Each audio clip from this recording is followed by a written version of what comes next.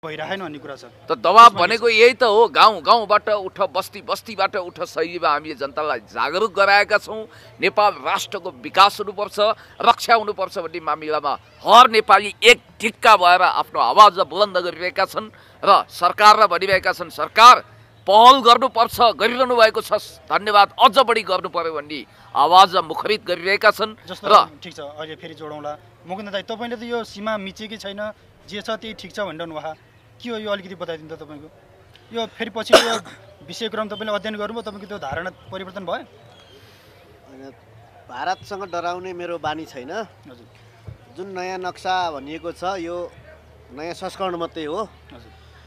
यो धेरै वर्ष पहिलादेखि इन्डियाले प्रयोग गरिआएको नक्सा हो। त्योबाट त्रसित हुनु पर्दैन। हाम्रो अफिसियल सिमाना नबनेको त्यहाँ सेनाले सुरक्षा नदिएको हुनाले सिमाना मिचिएको भन्ने कुरा बेकार हो। सिमानामा सेना बसेपछि सिमाना मिचिँदैन लडाइँ हुन्छ पहिला। काश्मीरमा भारतको र पाकिस्तानको सिमानामा भनिन्छ नि। त्यहाँ सिमाना मिचिनु अगाडि नै लडाइँ हुन्छ। नेपालमा लडाइँ केही पनि हुँदैन सिमानामा कोही ड्युटी बसेको छैन। मोटामोटी कतै खोला कतै पाखो कतै डाँडो कतै नहर यसलाई सिमाना मानिएको थियो। दक्षिणतिर दस गजा भर्खर बन्ने क्रममा छ। जहाँसम्म पश्चिम नेपालको टनकपुरको महाकाली नदी चाहिँ मोटामोटी सिमाना भनिएकोमा त्यसको मुहान खोज्दै जाँदा पश्चिमतिर लिम्पियाधुरातिर हाँकिएर काली हराएकी छिन्। हामीले राष्ट्रियताको राँको बालेर काली खोज्न जाँदा हामी पनि हराउने जस्तो ल त्यो त्यो छोडिदिउँ। अहिले विभिन्न मिडियाहरूले त्यही स्थलगत भ्रमण गरेर त्यो अध्ययन गर्दा पनि कतिपय त्यहाँका बासिन्दाहरूले भन्छन् सीमा स्तम्भहरू सारिरहेका छन् आज नेपाली पिलर हराएको छ। भारत भारतीय भइरहेछन् भनिरहेछन् यो अध्ययन गर्नु भएको तपाईँले कि यो त्यो जनताले नि हावा कुरा गरिरहन्? हामीले आफ्ना जहानका नाडी छाम्नुपर्छ निधार सुमसुमाउनुपर्छ मनपेट छाम्नुपर्छ अर्काका केटाकेटी गन्दै सोधखोज गर्दै हिँड्न आवश्यक छैन। काली पारी तरेर कथित जनगणना लिनेहरू पनि त्यो अनधिकृत हो। पहिला अब लावारिस पाखाभित्तामा को को गयो कसले नाम सोधो कसले लेखो या पञ्चायतका खर्दारहरूले उता जनसङ्ख्या टिप्यौँ भनेका छन्। तर पछि भारत र चिनको स्थल मार्ग एक मात्र कुनै विकल्प नभएको लिपुलेक मार्ग उनीहरूले प्रयोग गर्ने भनेर चिन र भारतको हाई लेभलमा समझदारी भइसकेको छ। नेपाललाई थाहा छ त्यो कुरा। नेपालका सरकारले नेपालको तपाईँको धारणा नेपालको नेपालकै सहमतिमा भारतले त्यो नक्सा अहिले जारी गर्यो भन्नु खोज्नुभएको अर्काको बाटो छेक्नु हुँदैन उनीहरूको नाकाबन्दी गर्नु हुँदैन। हामीलाई नाकाबन्दी गर्दा कस्तो कोकोलो भएको थियो? त्यो बाटो छेक्दा उन चिन र भारतमा त्यस्तै समस्या पर्छ। त्यो हामीले त्यो सम्भव छ? नेपालकै कोही नेता त्यस्तो कुनै कालखण्डमा त्यसरी मिलेर सिमाना गिभ एन्ड टेक केही भयो होला र? यस्तो हो। इतिहास बिर्सिन मिल्दैन। अब तत्कालीन राजा महेन्द्रले पञ्चायत टिकाउनको लागि काला पानीमा भारतीय बुट र बन्दुक बजार्ने अनुमति दिएकै हुन्। यो कुरा बुद्धिनारायण श्रेष्ठजीले पनि क्याटेगोरिकली स्पष्ट रूपमा लेख्नु भएको छ र धेरैतिरबाट यो पुष्टि हुन आउँछ यद्यपि महेन्द्रले प्रजातन्त्र कर्याप झ्याप पारेर प्रजातन्त्रमाथि गोवन फडा फिजाएर पञ्चायत ल्याएर दुई चारवटा जङ्गी काम नगरेका होइनन् सुधारका काम नगरेका होइनन् तर त्यो राष्ट्रघाती कलङ्कको जुन दाग छ जुन चोट छ त्यसमा म यसरी भन्न चाहन्छु। नयाँ घाउ लागेको होइन नयाँ चोट लागेको होइन पुरानै घाउ अहिले बल्झिएको हो। जहाँसम्म उहाँको कुरा सुन्दा चाहिँ मेरो तातो पार तातो एकदम पारो छुटेर आउँछ के? के भनेको यो? तपाईँ कस्तो मान्छे हो? तपाईँ मुकुन्द घिमिरे हो कि मुकुन्द मोदी हो? तपाईँको अलिकति विवेकले काम गर्नु पर्दैन। तपाईँ रावण कुलमा जन्मिएको विभीषण जस्तो कुलद्रोही हो कि क्या हो? नेपाल आमा आज सङ्कटपछि हामीले के तपाईँलाई बहत्तर ठाउँमा नेपालको झन्डै पैँसठी हजार हेक्टर जमिन मिचिएको विषयमा तपाईँलाई थाहा छ कि छैन? तपाईँलाई कालापानी दुखेको छ कि छैन? आमा रहेको थाहा छ कि छैन? त्यस कारणले गर्दाखेरि काली नदीको मूल मुहान जहाँ छ त्यहीँसम्म नेपालको भूभाग हो भैरव विशालजीहरूले त्यही बेलामा जनगणना गरेको कुरा स्पष्ट छ। त्यसकारण म भन्न चाहन्छु नेपाल राष्ट्र जसरी डोनाल्ड ट्रम्पले उताबाट अपराधीहरू हामी ढिम्किन पनि दिँदैनौँ पर्खाल लगाउँछौँ भनेका थिए मेक्सिकोको हकमा। हामी यहाँ भन्न चाहन्छौँ अब नेपालको भूगोल इतिहास र नेपालको जुन खालको संस्कृति छ लाखौँ लाख वर्ष पुरानो संस्कृति जतिखेर भारत भन्ने देश दूर दूर क्षितिजसम्म नजर आउँदैन थियो त्यतिखेर नेपाल जन्मिएको थियो भनेर लाखौँ वर्ष अगाडि लेखिएको अथर्वेद मानस पुराण सबैमा उल्लेखित छ। अब हेर्नु न एउटा कुरा। उहाँ नरेन्द्र मोदीको एउटा धर्म छोरोको नाम चाहिँ जित बहादुर तर तपाईँलाई नै जित बहादुर बनाएर जित बहादुरको ठाउँमा मुकुन्द मोदी बनाएर पठाउनु पर्ने हो कि क्या हो? जस्तो अनि अर्को कुरा ख्याल गरेर पक्नुहोस् पक्नुहोस् मुकुन्दजी जस्तो तपाईँ अहिले कालापानीका कुराहरू लिपुलेका कुराहरू आछन् त्यो बाहेक त्यो अलिकति सीमा मिचियो जङ्गी पिलर सरे अन्य जुन बहत्तर स्थानमै सीमा मिचियो भनिरहेको छ नि त्यो विषयमा नि तपाईँको धारणा त्यही नै हो। मिचेको छैन हुँदै होइन भन्ने हो कि अहिलेको पछिल्लो मात्रै कुरा हो तपाईँको यो? मिचेको छैन भन्ने कुरा। सत्ताइस सालमा कृतिनिधि विष्ट प्रधानमन्त्री हुँदा मात्रै नेपाल स्वायत्त राज्यको अवधारणा आएर उत्तरको सत्र अठार ठाउँमा इन्डियाको सैनिक चेकपोस्ट हटाएर नेपाललाई स्वायत्त राज्य बनाइएको कुरा जगजाहेर छ। कालापानीको हटेन। यहाँका राजा महेन्द्रको सम्मतिमै कालापानीमा सेना बसेको हो। र नेपाल चाहिँ यो अब कम्युनिस्टहरूले नि हिन्दू धर्मशास्त्रका साहित्यका सहारा लिएर नेपाल हजारौँ वर्ष पुरानो भनिन्छ। यो ढुङ्गो यो पहाड यो सगरमाथा यो पाखो पुरानो हो। तर राज्यको रूपमा बेलायतकी विश्व जित्ने महारानी भिक्टोरियाले उनको घाम नअस्ताउने साम्राज्य अन्तर्गत उहाँ सागरदेखि यहाँ हिमालयसम्म एउटै थियो। पछि अन्तर्राष्ट्रिय आवश्यकताले भारतवर्षभित्र इन्डियन सब कन्टिनेन्टमा छ सातवटा सार्क मुलुकहरू जन्मे। यो ग्रेटर नेपाल भन्ने जुन फजुल अवधारणा छ भारतका भारत ठुलो माउ पो थियो नेपाल ठुलो चल्लो मात्रै हो। ग्रेटर तपाईँ चुप लाग्नुहोस्। तपाईँ म उहाँलाई चेतावनी दिन्छु। नेपाल आमाको छातीमा बसेर तपाईँले आमा विरोधी देशद्रोही कुरा गर्न आमा पाउनुहुन्न जोगाउनलाई नै मैले यसरी कुरा गरेको तपाईँ जस्तो कपुत तर्क नगर्नुहोस्। भन्ने चुप लाग्ने। कुरा जहाँसम्म छ। कालापानी बसेको सेना छोड्नेवाला छैन जस्तो छ। यस्तो लाग्छ कि उहाँ त मोदीले पक्नुहोस्। मोदीलाई पार्सल गरेर हुन्छ। तपाईँले भनिसक्नु भएको हेर्नुहोस् सुन्नुहोस् तपाईँको शरीरमा हामी अब डिएनए टेस्ट गर्छौँ। भाइ हो म खुल्ला छु लागि। दोर्जेको जिन छ कि छैन भनेर उल्टो जन्मिनु भयो कि क्या? भौगोलिक मिस्टेकले उता बिहारतिर जन्मिनु पर्ने मुकुन्द यहाँ जन्मिएको हो कि क्या? भोक्न भकारी पार्न। सुर्ताको मान्छे किन यस्तो ल, गर्नुहुन्छ तपाईँ? यसलाई जस्टिस गर्नु। कि मिचेकै छैन भन्ने कुरा हो?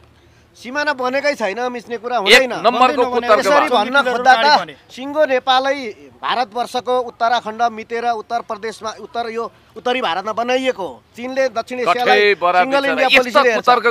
चीनका राजदूत भएर आएका मान्छेले भनेका छन् नेपाललाई चीनले गन्दै गन्दैन भुटानलाई बिहारलाई किन गन्दैन। गर्दैन नेपाललाई सार्वभौम सत्ता सिङ्गल सम्पन्न इन्डिया पोलिसीले चीनले हामीलाई हेर्छ समुद्रपारीका सबै मुलुकले भारतको मामिला भन्छन्। यहाँसम्म कि यो साहित्य उत्सवमा आउने डाक्टर तसिमा नसिनले पनि नेपाल भनेको भारतै त हो नि भनेर पासपोर्ट नलिकन एयरपोर्टमा आएर एकचोटि फर्केकी थिइन्। जे भन्छ त्यही कुरो हुबाउ पत्याउने भनेको कुरा ठाडै खारेज यो। माओवादी आतङ्कले गर्दा विश्वमा नेपाल चिनायो दरबार हत्याकाण्डले गर्दा बदनाम भयो नेपालको र त्यो बहत्तर सालतिरको भुइँचालोले नेपाल चिनाएको हो। नभए विश्वको मानचित्रमा नेपालको बेग्लै नाम थिएन। इन्डियाले आवश्यकताले भोटेको राष्ट्र भुटान हिन्दूको राष्ट्र नेपाल मुस्लिमको राष्ट्र पाकिस्तान यो भारतलाई निरपेक्ष राख्न वरिपरि देवताका थान बनाइएका हुन्।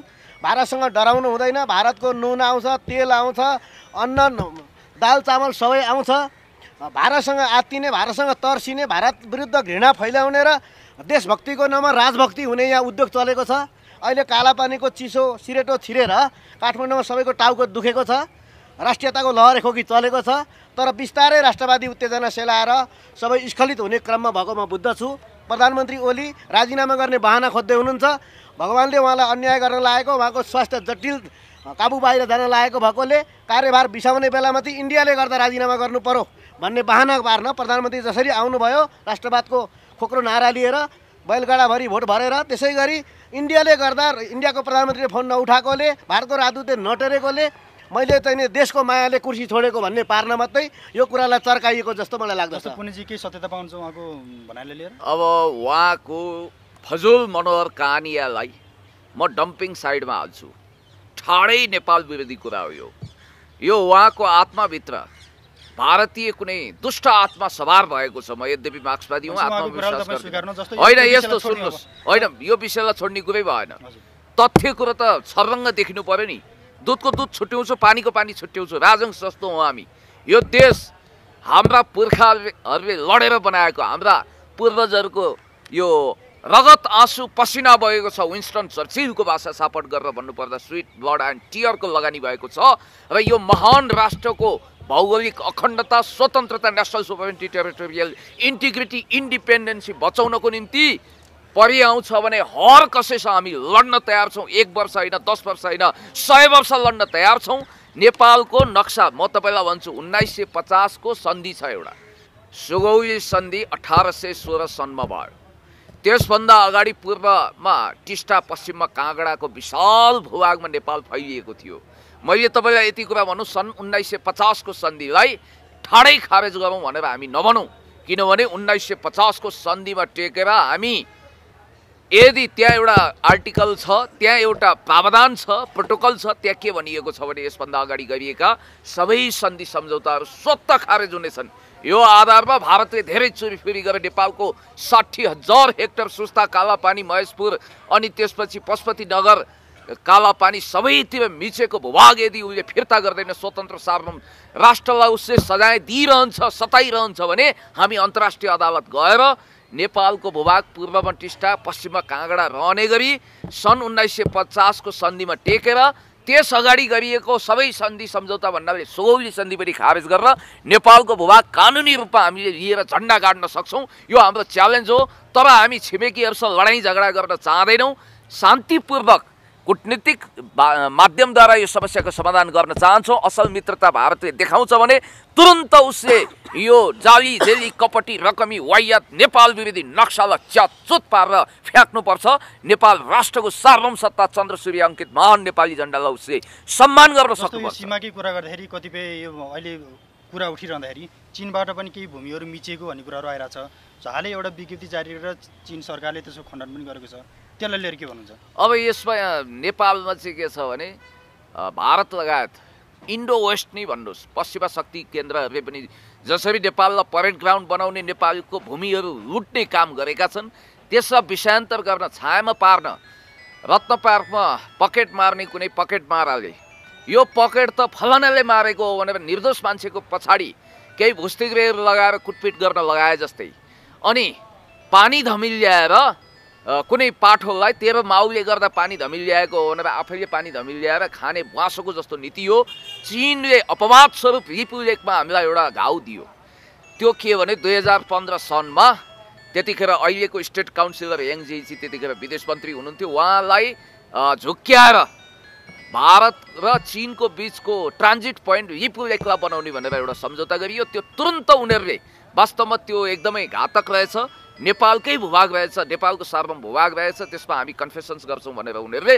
तुरन्त त्यसलाई सच्याए त्यस त्यो बाहेक नेपाल र चाइना बिचको सम्बन्ध भनेको कुटनीतिक म पनि इन्टरनेसनल रिलेसन फरेन पोलिसीको स्टुडेन्ट हुँ पिएचडी स्कलर हुँ।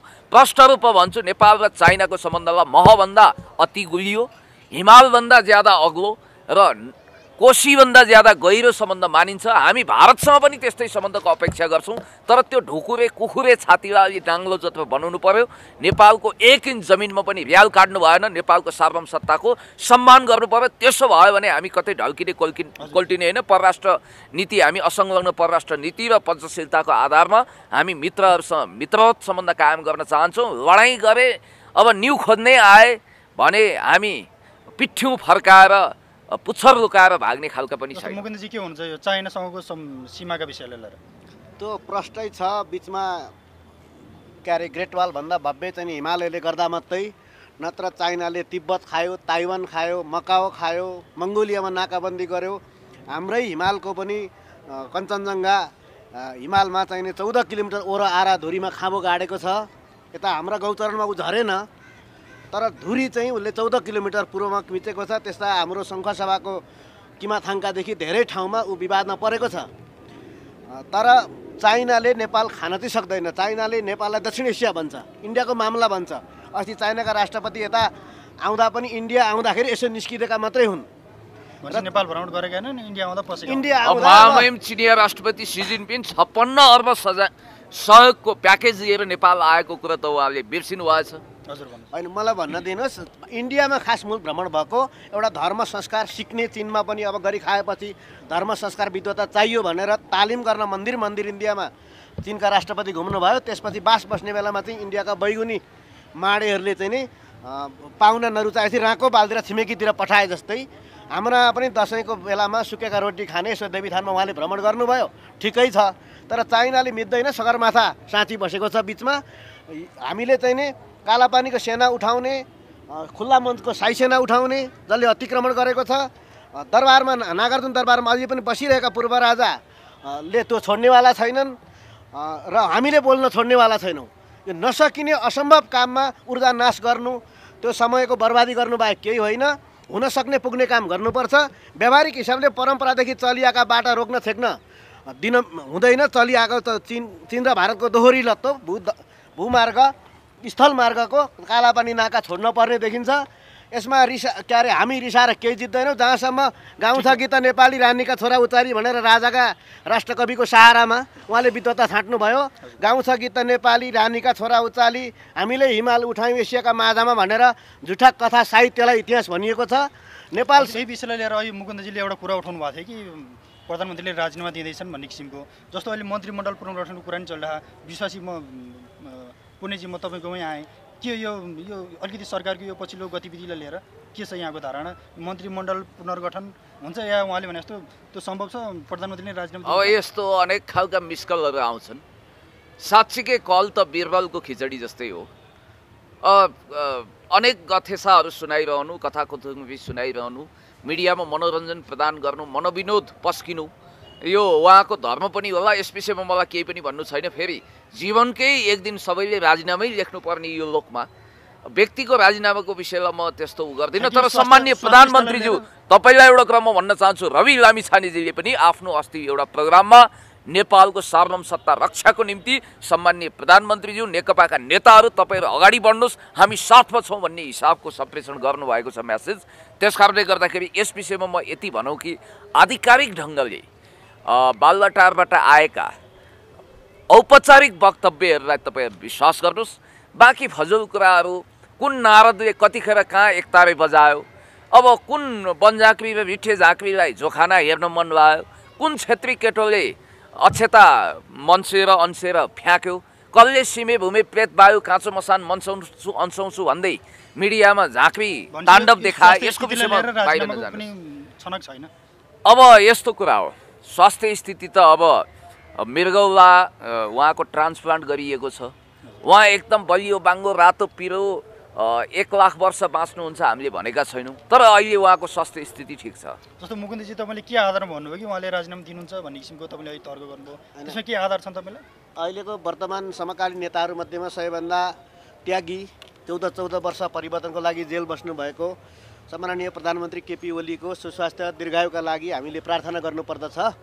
तर उहाँको जटिल स्वास्थ्य हिजो दुःख धेरै पाएकोले गर्दा त्यो कहाली लाग्दो अवस्था छ। त्यसको लागि प्रधानमन्त्री बाहेक सबै टोली फेर्ने भनेको छ। उप प्रधानमन्त्री ईश्वर पोखरेललाई चाहिँ बढुवा गर्ने कुरा पनि आइसकेको छ। कार्यवाहकको रूपमा उप प्रधानमन्त्रीज्यूले मुलुक चलाउनु पर्ने बाध्यता आइलाग्न सक्छ। एउटा उपचारको नाममा फेरि अमेरिका अथवा कतै बाहिरको यात्रा जहाँ जोखिमपूर्ण उपचार हुन्छ।